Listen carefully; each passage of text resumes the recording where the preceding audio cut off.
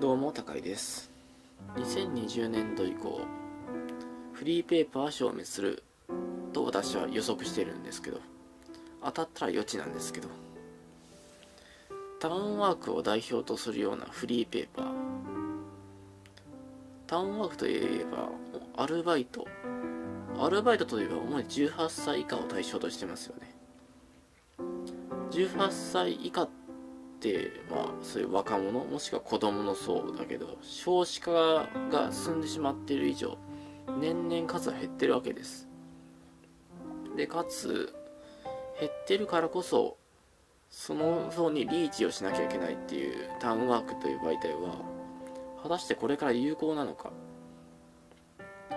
私から言ったら無理なんですよね。有効ではない。これから撤退すべきだってこういう本を読んでますます思っちゃって。だったら大企業であればあるほど宣伝効果あるのかって言ったらそんなことはない。中小と大して変わらない。だからこそ2020年度以降